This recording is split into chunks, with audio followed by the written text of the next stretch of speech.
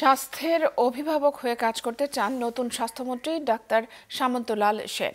মূল লক্ষ্য রোগী এবং চিকিৎসকদের সুরক্ষা নিশ্চিত করা। পাশাপাশি সিন্ডিকেট এবং দুর্নীতি ঠেকাতে হতে চান কঠোর। মাহমুদ কমলের রিপোর্ট। গেল দশই জানুয়ারি থেকে ফার্মগেটের ইন্দিরা রোডের এই ধানসিঁড়ি অ্যাপার্টমেন্ট দিনের বেশিরভাগ সময়ই সরগরম। শুভাকাঙ্ক্ষীরা আসছেন, জানাচ্ছেন শুভেচ্ছা। বিশ্রামেরও সুযোগ মিলছে না ডাক্তার সামন্তলাল সেনের। নবগঠিত মন্ত্রিসভায় স্বাস্থ্য ও পরিবার কল্যাণ মন্ত্রণালয়ের দায়িত্ব পেয়েছেন পোড়ারোগীদের চিকিৎসার সবচেয়ে বড় ভরসাস্থল এই চিকিৎসক। জনগণের দোরগোড়ায় স্বাস্থ্যসেবা পৌঁছে দেওয়া এখনও সরকারের জন্য বড় চ্যালেঞ্জ। রোগী ও চিকিৎসক দুপক্ষের সুরক্ষা নিশ্চিতে রয়েছে নানা সংকট। কীভাবে এগোতে চান? প্রশ্ন ছিল তার কাছে। আমি যাকে দিয়ে কাজ করাবো, তাকে যদি আমি শান্তিতে না রাখি, তাহলে আমি কাজ আদায় করব কীভাবে? রুগীরা মাটিতে শুয়ে থাকে, এখানে মানে একটা খুবই একটা অবস্থা। কেন? ওয়াই বাংলাদেশের চিকিৎসকদের কিন্তু অনেক গুণ আছে, আপনারা ভালো করে জানেন। অনেক ভালো ভালো কাজ করে আমি কিন্তু একসময় সারা বাংলাদেশ ঘুরছি, আমি জানি কোথায় কি কষ্ট, মানুষের কি অবস্থা। আমি যদি আজকে টেকনাফ কিংবা পাটগ্রামে একটা ভালো হাসপাতাল, আমার যদি ভালো ফেসিলিটি থাকে ডেফিনেটলি আমার ডাক্তার কাজ করবে। ডেফিনেটলি তাকে যদি আমি সেই সাপোর্ট দিতে পারি, কাজ করবে না কেন? নিশ্চয়ই করবে।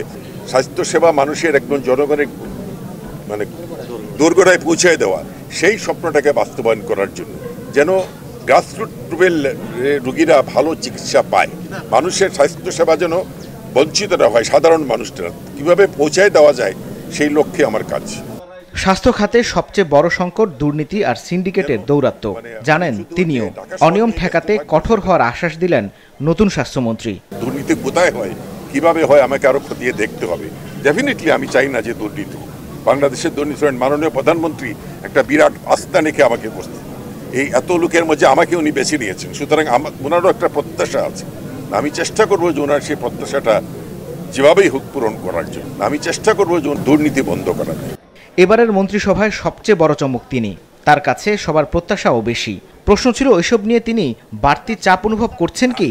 আপনাদের এই কথাবার্তায় আমাকে বাড়তি চাপ বানাই।